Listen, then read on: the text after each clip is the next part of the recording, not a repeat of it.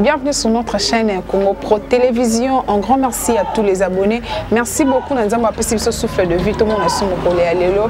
Euh, merci beaucoup à Montréal, à Moïse Kini. Un grand merci à moi, à Souka. Paradis d'Oriol, la caméra et pourquoi pas à Salima depuis Bruxelles. Bah, merci et Bélé Nabato, bah, Bengaï, bah, bah, Fingaki. baoyo baloba mpe malamu mpo na ngai mai nazongi su na plateau na ngai ya congo mpo télévision na maître ya lela na profite kopesa Bah, gros bisous nanga et pas Vincent Pambou depuis Bruxelles. Merci beaucoup à Arnaud Wambilom, c'est mon cœur. Merci beaucoup vraiment. Nabino Nyoso. Paradis d'ailleurs la caméra le longa non sur la maître Adelar Adelar Toko. Matondo lisou du ko nango. Na sur la par rapport il y a émission on a au teko ça la dernièrement.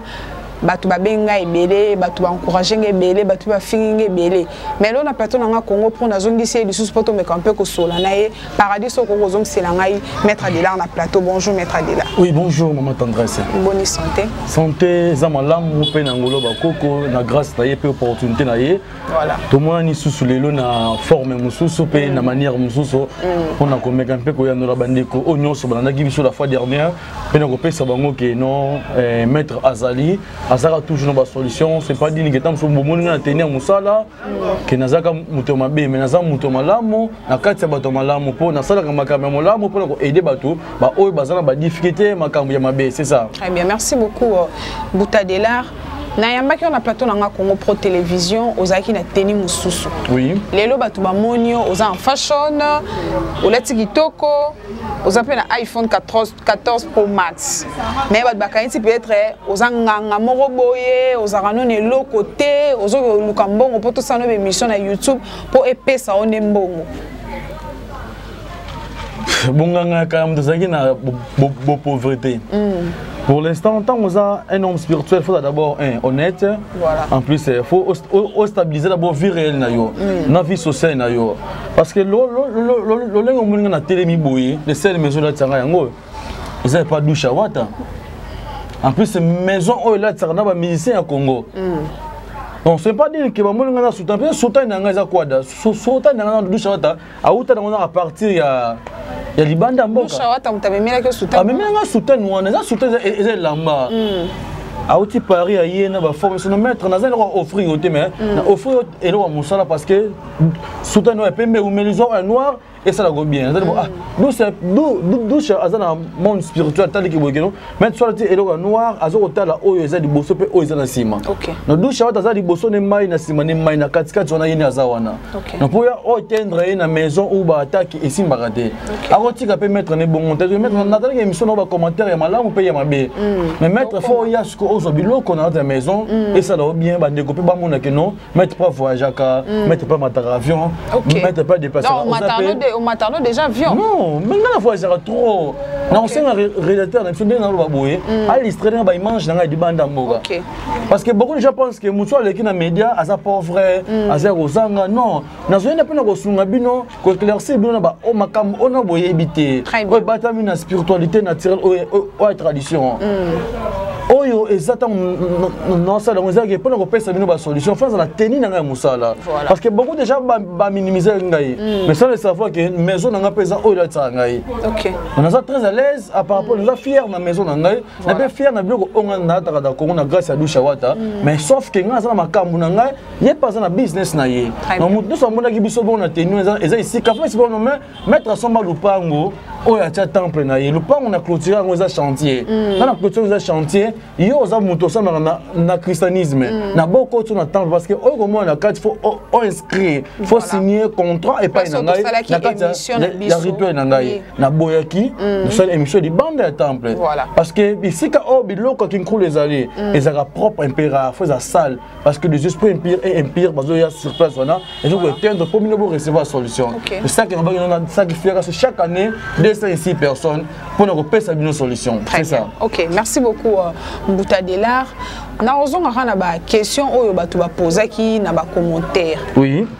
totyaki miniature ya lokuta mpo émission na biso etalama bato mosusu baye koloba mbuta matondo ya delar il faut olobela biso verité cause ya maladi ya gigola donc yo fo olobela biso yango verité naozonga kaka na bacommentaire oyo bato bapozaki biso na émission tosala yano l'autre fois gigola c'est un frère mm.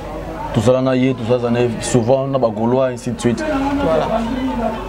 nakoloba kaka d'abord ya liboso bato batika kokumba nkombo ya fere na ndenge ya mabe mm. a par rapport ke lolenge aza na succès mm. bato balobake no ye nde moto asali ye bongo o ye nde moto aosala ye bongo fere insista plusieurs fois gigola atindeli na poto gigola boya mm.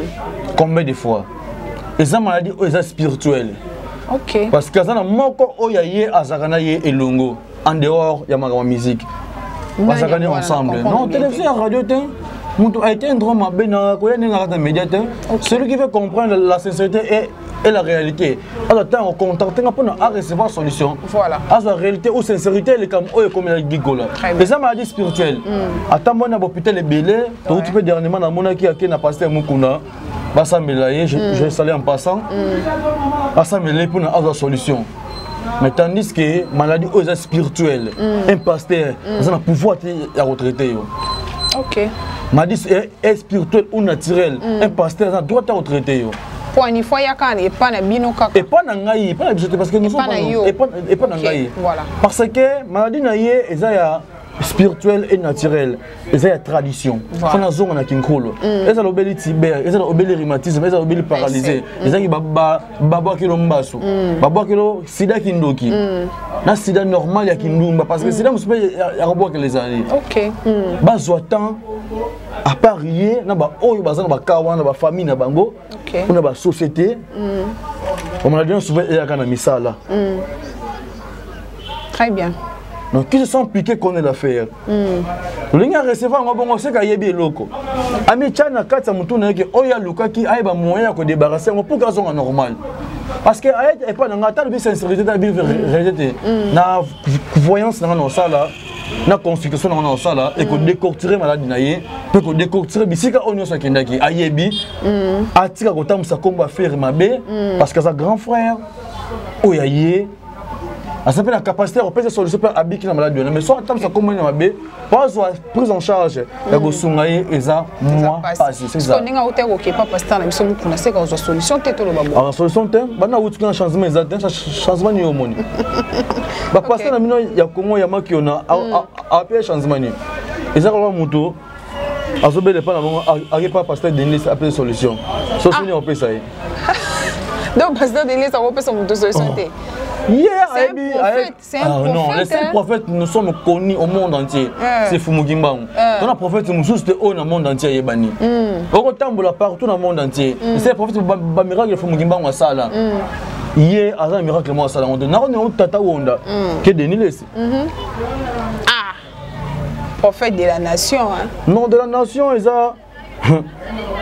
eza pasi wana eza mbuta matonga dela eza na bapaster ebele mpe baya mpe mpana okoluka makambo mpana sont nombreux mpo bato na bacommentaire balobi nzambe kaka nde fin non nga mpe nasambelaka nzambe so bato na commentaire oke no nzambe kaka fin bien sûr mm. nzambe aza fin par rapport ye nde moto akeli ngai mpe ye nde moto akeli biso mm. mais basagesse spirituelle mm. nzambe apesaka moto nyonso te connaissance spirituelle mpo asalisaka bato nzambe apesaka moto connaissance teke mpona adevelaka mama bato wana mm. bapaster eloko liboso bayoluka epa na ngai mm. délivrance miracle mm. délivrance miracle et prophétie trois choses là yango baluka epa na ngai dernièrement na ocho tala euh, prière ya ya ya ya prophète Francis bato ba okwe ya simba ngabo eh protocole pou depuis lingo kwe te nga te osimi osimi bato bato parce que omaki yango bazwa yango na bemage soki nga mpe na mposa okweyisa yo hmm. okweya na yo apromote soki mposa okweya olobi te nga na na mposa okoya te parce que émission oyo nga nafingami mingi eza problème te émission oyo tosali nayokovantele nga moto akweyisi te biso toluka moto mosusu nga te parce que nga nde monayebiye baoyo wana akweyisaki cameraman akweyaki te donc seke baoyo bafilmaki nde bango nde bakweyaka yo mpe baofilme biso soki yo bokoya moto libanda okweyisa ye mpo nga nde mna yabe wana ekomi préparative très bien nga nafingami mingi na émission tota kosala na yo naza zoba naza lage pourquoi nazoki soyi na ngai natiaki epai na yo okomi koutilize ngai ifo naluka bapaster basambelela ngai etou etou maître adela esali nga mpasi naoloba mpenza na mawa na motema na mpasi na motema nayebi te lobi eza ya nzambe nayebi te soyi na ngai natyaki epai na osali nango nini maître adela esalaki nini ntango makasi natyaki yango e- e- esalaki dabord nini ntango nasengaki yo otyela ngai e- réaction nango ezalaki nini epelisaki moto epelisaki moto mm. ebele bakoloba ebele mpe bakotransforme makambo na lolenge na bango oyo akoloba oyo aza na kati ya monde spirituel mm. parce que soyi d'abord eza énergie naturelle na yo mm. soyi ekoboma motu je vais te comprendre dernièrement awa na congo natali na euh, mwana kin na couloir wana mm. il y a un certain maman alokotaka bapapa mosuwa ya bato mm. napangusi moto kibozi pape mosho abwaki mm. ye ayaka azwaka pape mosho wana asalelaka yango mm. oyebi asalela yango nini kasi azwaka énergie spirituelle ya moto énergie na yo epe nga accès nasala séance onga nasengaki de devant bas esprit énergie na mpe na capacité ya koneutralize yo na pe na capacité ya ko aider yo mais sikoyo ndenge ozwaki yango bongo osaleli yango otikali na énergie na ngai obendi ngai betoile na moma wana nde na moma oyo nazalaki na mposa kosala séance eh, mm. nasaleli énergie no parce que énergie no moko eza capacité kosala nyonso oza koposa na vie na yo donc osalelaki yango kaka na même temps wana même temps wana mais na monde spirituel barecevoir énergie no yango nde epesi effet mm. mpesala réaction alors esili bongo ya nasengi no yoko loba esili bongo mais namoni sipela tata mosusu esila bongo te hmm. eh, esenga sikoyo mpona yango siko ah, réaction oyo osalaki wana eza ya bien to ya malamu euh, mais ya malamu mpona bato bamona ke énergie oyo moto asali séance mpona boyaki kotya oyo ya ngai hmm. nometre atikaki soi na ye natye oyo ya yo mpo kopake donc eloko nyonso napesaka motu ata motu mosusu asimbi na yango mm. esa eloko te ata osaleli eh, énergie ya motu mpo eloko nde produit esa eloko te c'est ça mm. balobi biloko wana nyonso ebimaki ya lokuta bakodia nyonso ebimaki ya lokuta mbongo nyonso ebimisaka ya lokuta bafaux euro bafaux dollar yango lelo ngai alobaki lelo tosala na biso démonstration te bon ngai nayebi te ngai nayambi okana na plateau nayebi te soki osala démonstration donc babi nyonso oyo esalemaki eza ya lokuta ngai naye toujours kaka na baquestion ya bato oyo bande kopose biso yango biso tozongisa yango mpo eza na bato ebele vraiment merci beaucoup na bato oyo babengeli na émission esali na maître adela malgré aza na makambo na ye ngai mpe naa na makambo na ngai eza émission pourquoi tosalelaka bapaster ba publicité ba pasteur bazo talama bango pe baza batu pe baza pe na makila na ma eza ka métier oyo aza nango yango pe biso tozo yamba bango to koka toujours ko sala travail na biso ezala ya malamu merci beaucoup na ba chroniqueur ou bien chroniqueuse oyo ba benga ki vraiment na émission na sala na mutadelar matondo mutadelar nayebi te soki nolobani mpo babi bambongo nyonso ebimisaki eza ya lokuta lelo mpe nayebi te soki mbongo yango soki tokotambola mpe na mbongo oyo obimisa tochange yango moto achange biso eza ya solo je sais pas euh, na monde entier mobima moto nyonso aza na mposa ya financement te mhm. soki babeki eza mbongo ya lokuta mhm. naza na usine esalaka dollar te mhm. naza na matière oyo basalelaka euro te soki nabimisa mbongo ya lokuta koma tandis que eza usine esalaka dollar te eza matière oyo esalaka hero te mm. parce que eza mbongo ya, ya, ya, ya mboka mopaya voilà.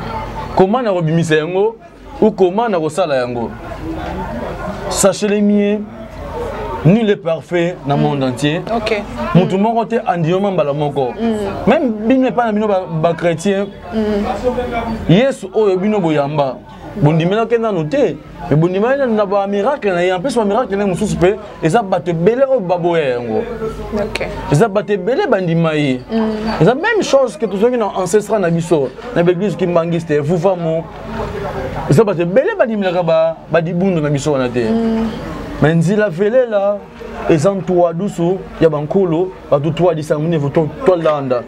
Voilà. ezali nzela oyo baguide spirituel mpe bakoko bapesa biso mpo tolanda toki kozala na mboka ya, ya mopaya mpe na banzela ya bapaya mpona mm. tozwa solution mpe badelivrance ya makambo yango besoin motu nyonso alobelo na, na émission na yo mm. ndima yango parce que eza mosala na yo mm. okoboya yango te moto afinga yo ndima yango mm. mais eza l'un parmi ya bato baofinga yo mm. bango mpe kaka bazazwa basolution na nsima na, na, na yo okay. parce qu'en travers na yo bato baorecevoir message entravin na bato bazwa solution beaucoup de gens bakoloba oyo oh, esekanaki baloba baloba na bango eza problème te mm. ngai nakosala etanki ngai kibongai ya oyo ngai nasalaka mm. mpona kopesa bandeko solution nayaka te na media ke mpona kose vante nasala boye nazosa boye non nalakisaka baspécialité na ngai mpe lolenge eloko na eloko oyo nalobelaka mhm. comportement du bonheur alakisi bango nkutu mm. na introduit ke portefeuille magique esengaka condition na portemoin du bonheur traditionnel esengaka condition te mm. yo ndeko otamboli mingi oza mpoza recevoir mwa 600 euro 200 euro 800 euro mm. ou 2000 euro eproduiraka yo oye okorecevoir yango ntango nasali séance nango mpona kolakisa ke eloko oyo naalobela efonctionnaka boye mm-hmm. ce n'est que ça le monde spirituel ntango baosaisi moto mongo ebimisa jamais faux billet ebisaka mbongo oyo bato baliaka je pense me mbongo wana mpe moyesiki na futela yango transport so nabosani e c'est ça ntango mosusu afutela yango transport hmm. so ezalaki faux bies ko bakechange yango ndeni ok voilà lelo osala démonstration non lelo eyaki mpo nayoka yo lolenge osepende mpo nakamaka maître hmm. nati ndoto mabe nakufa mpo maître pardon aide ngai hmm. nabeki yo koaide yo nakoaide yo teke nango en huis clos ata osalisa mosala ata moza mposa alinga ozoboya nakozwa na neutraliser conscience na yo ou conception mpo bolinga na ye esifi oza na domination initiale parce que napesaka mpe na badomination bapurification mpona koede bandeko olinga mwasi mpe mwasi aboyi mm. ata oza libanda mboka ata oza na congo mm. yo mwasi oyo olinga mobali na poto mm. ocontacte nga na na clan mpe lenge moko na kosala facilement mpo aetendre esifi aza na nkombo na yo siko bakombo na bino siko bakombo na bino bakombo na bino tous les chroniqueuses na bachroniqueurs na mm. monde entier déjà ese eyebani voilà c'est ça mm. merci beaucoup à mbuta delar matondo eza na bato ebele baolinga baapproche yo mm. mais tellement na teni oyo olataki nzambala oyo olataki mpe place oyo biso tosalaki émission bato bazobanga bato bazobanga comment bakoya koapproche yo mais leo tomoni yo en fashion est ce que soki moto amoni yo boye libanda est ce que oyebaki ozanganga bon soda mpe ateni na ye alataka ah. aza mpe en dehors ya mosala aza nde normal mm. alati ndenge alataka alati mpe te teni ya mosala mpe te mm. teni yango natambola nango partout te teni yango nakenda nango bwate parce que nga mpe naza oyo nyonso bino bosalaka hmm. boye normal nga mpe nasalaka yango po nga mpe nana baposa nani yamba te eh. ote oh, maître nini bongo nataki bongo hmm. songo bima moto abenga maître songo na posa nakutana me bato naza na bongo na banzambe yango wana oya nde nyonso no mm. na motu mpe meste eh, motu ati veste akutana na motu mete mpe ati fashion mm. akutana na motu mpo na koaide motu parce que wana eza tenue du travail mm. comme oyaki esika oyo eza sacré na mabele na ngai ya bakoko fo nazala na tenue wana mpo na basala oyo ngai na kosenga epai na bango donc tenue wana ezalaki ntango nasala événement ou effet ya likambo naza nango besoin na kosaisir yango bandeko na ngai bisika nyonso bozwami partout na monde entier oyo aza na besoin ya korecevoir solution oyo kotendre solution na makambo edérange na kati ya famille na bango oyo koetendre solution na makambo nyonso edérange ye ce n'est pas dine ke ndenge amonaki ngai na teni wana ke eza mabe mm. eza mabe te eza teni oyo ngai nalataka mpo na mosala na ngai un comédie mpa antenie mm. liyanza ata ateni na ye mokwata ana teni na ye ya ya théâtre mais ndenge mm. atamba yango partout te alata yango air ascène so yango nakolakisa bato ke non je ne suis pas un pauvre na mpe na baliquidité ou bafacilité saisirable mm. na mpe mutu na babesoin osala nyonso nalataka mpe lolenge bato ya mokili balataka ah. mais e ekoma moment di travail na ngai mm. ekosaisir ngai nyonso mpe korecevoir nyonso merci beaucoup mbuta delar matondo tokee na biso Oh, presque à la fin. Oui. Euh, histoire ya Saïsa et Fiston Saïsa Ocho ba la deuxième femme na ye et pesi moi ba polémique et belé ba bimisi ba c'est belé belé ya Saïsa. Tant que yo mo tala ki ngo déjà au monde ki onde. Bon, na à l'époque d'abord, wa seulement ça combien de femmes Avec de plusieurs. Plusieurs femmes.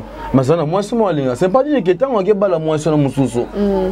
Que aboyi moi c'est na ndako. Mm. Bino ne ba sine bobo sana que nomba na so ya lingi moi c'est mususu ake akebala ye mm. ke yo nde oza so eloko te lobaki abala mwasi na ndako te lola se eza mabe mm. mais comme oya ndako mpe abala officiellement mm. wana ntango mosusu abali officieusement mm. officieusement na akobala ye aconsidere ye ya 100 te pourquoi atikala ye nekalaki makangu te abala ye kaka po atali baavantage atali baavantage aza moto apena makila na mai atali baavantage mm. na baopportunité oyo oh, aosaisir babolingo mosusu e, ezalaka baamour spirituel mwasi ne wana ta mosusu akota bisika mosusu mm. mponga na recevaka bango mpe mais comme ya télévision boyana naloba eza te mm. na recevaka bango plusieurs fois na éteindra bango plusieurs fois napesa bango mpe basolution ta mosusu patron saisa aza aveugle ntango aza aveugle na mwasi wana akosala oyo esprit ou djine oyo bakotisa kati na ye mm. abana kosala oyo nyonso mwasi wana azoloba yango nasenga basi mpe yo mpoza mposa mobali moko likango no abala yo mm. ocontente ngo likango no akabela yoko te mm. oza na besoin orecevoir ye apesa solution ou abala yo mbala moko ocontente nga parce que baka wana eza trop na monde eza mpe yo mwasi mobali alingaka mobali eh, yo mobali olingaka mwasi aolingo te aolingo te oza na mposa ozongisa bolingo na bino retour d'affection saisiration attirance oza na besoin yango oye donc mm. eza libala na bango eza na monde spirituel eh. eza nde banglobe yango batenir yango donc eh, père aza sous dominé mm. asous dominé na oyo mère a recevoir mm. parce que pour le moment mwasi moko te aza na fille ya milieu asimba makambo te basalisa bapurification mamona etambola te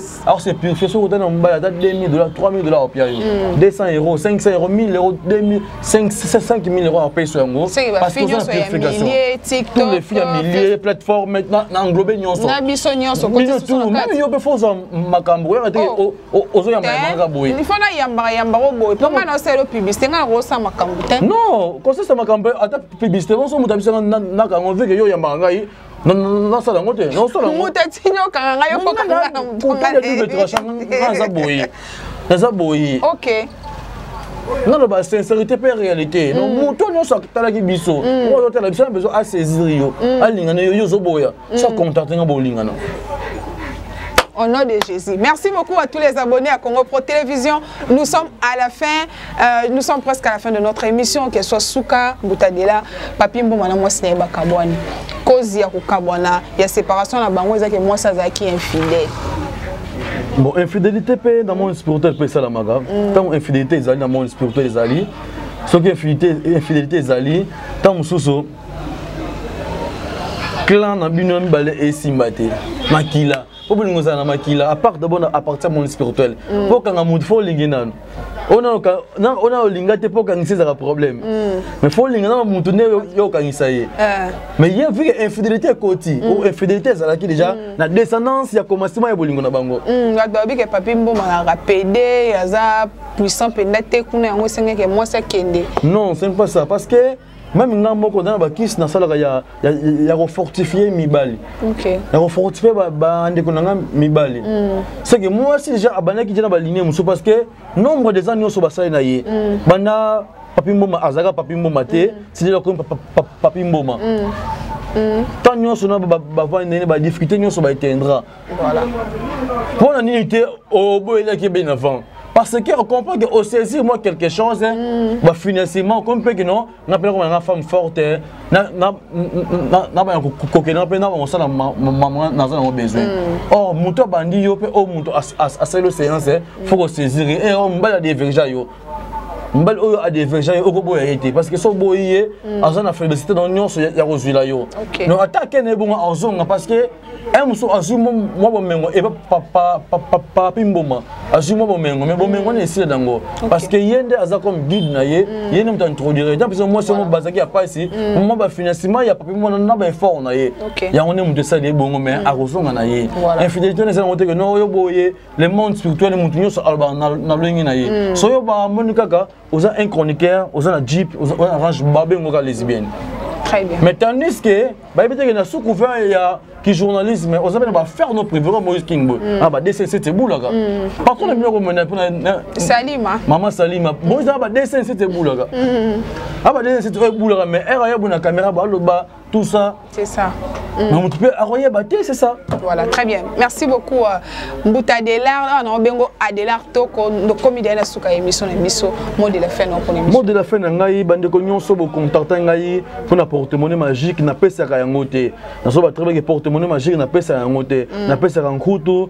na nkode na, na, na portemoni du bonheur mm. vo moni ke luvina na bino etambola te coalition na kati ya famille na bino esaisir te mm. oza na besoin oza solution na kati ya libota na yo mwasi no abotaka te oza na problème ya document oza na problème ya mosala ezo tenir te ozala oza pauvre oza, oza na financement yeba ke protection spirituelle eza tenir na moto nyonso ezala oza député ezala oza nani ezala oza ministre